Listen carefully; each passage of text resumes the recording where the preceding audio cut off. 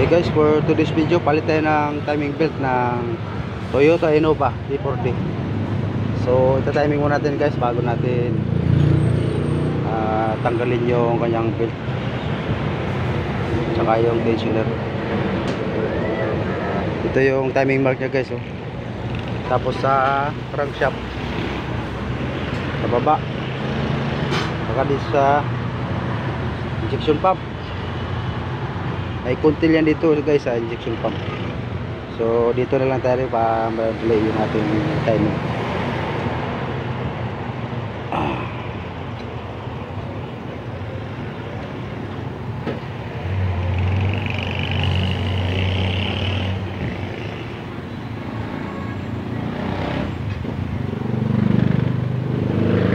so yun guys na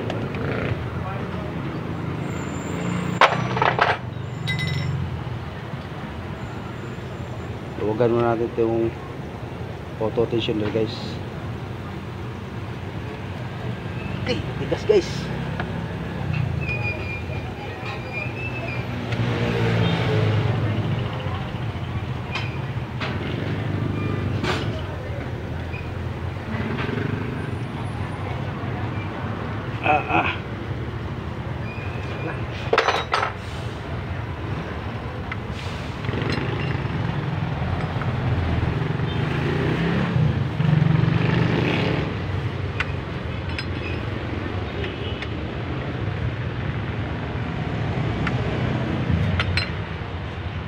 Tapos kalasin na natin yung tensioner bolt.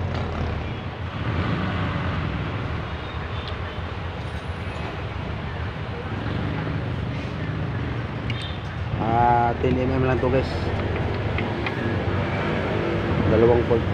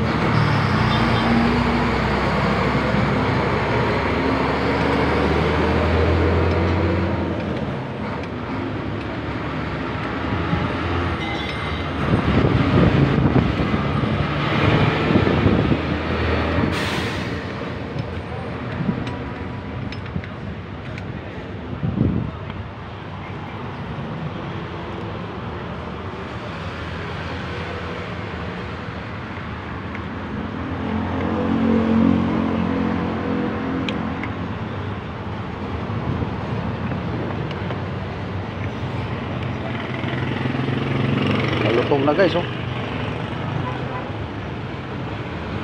Mapuputol na yung kanyang timing belt.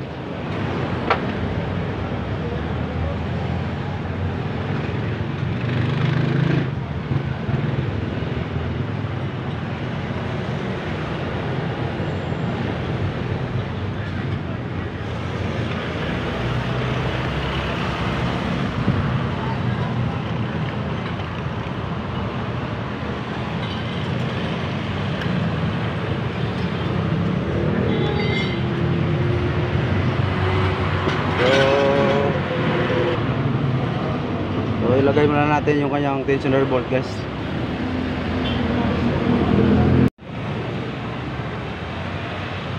Lagay muna natin tong tensioner bearing guys bago yung kanyang timing belt.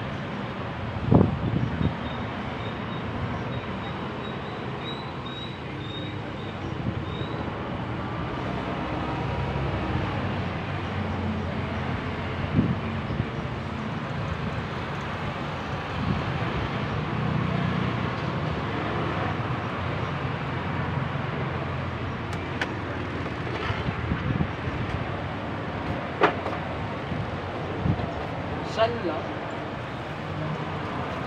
Samsung saro.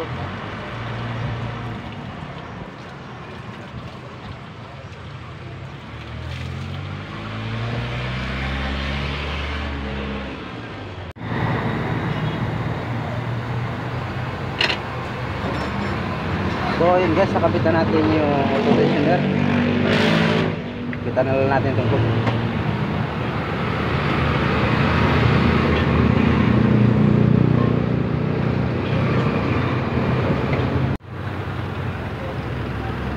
na natin itong guys.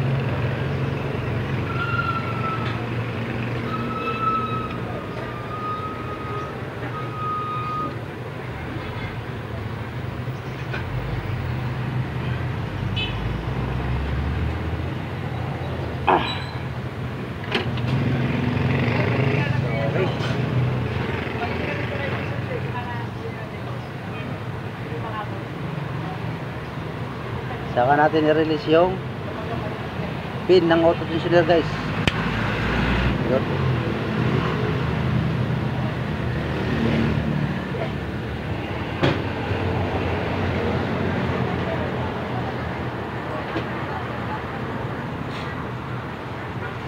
Pakapit na lang natin yung cover guys.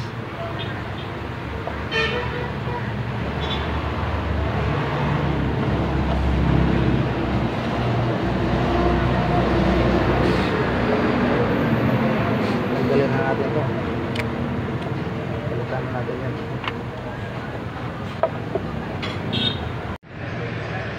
So, yun guys, nakabitan natin yung timing cover. So, nag-change oil na rin tayo nito guys. Ilagay na rin natin yung langis. So, papanda rin lang natin. Papanda rin lang natin to guys.